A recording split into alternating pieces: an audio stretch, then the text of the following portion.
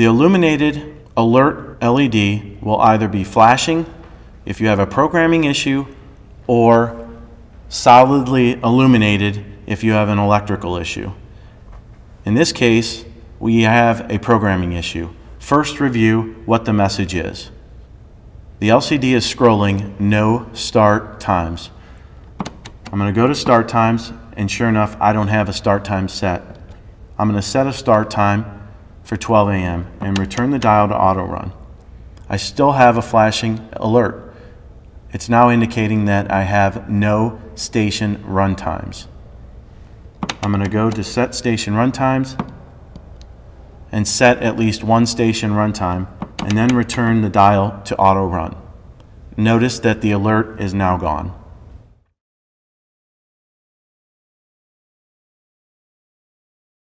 We have a solidly illuminated alert LED.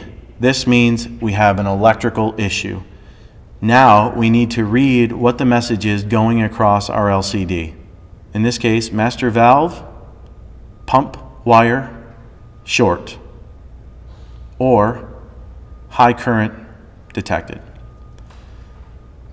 I can either fix the problem or I can clear the message by pressing and holding the manual start key.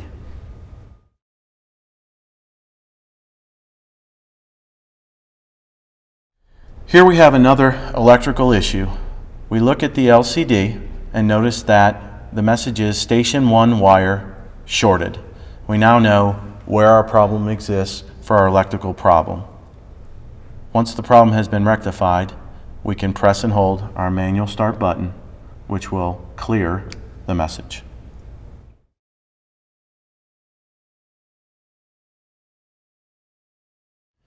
Another example of an electrical issue could occur when we have a problem with one of our station wires.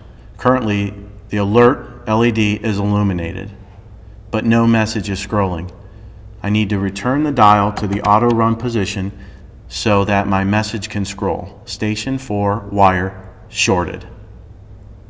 This tells me that I have a problem with my wiring on station 4. To clear the message, once the problem has been fixed, I can press and hold the clear button, which is hold to manually start.